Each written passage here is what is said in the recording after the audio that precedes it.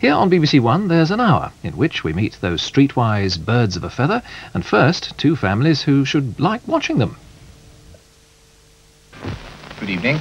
Good evening. Good evening. Good evening.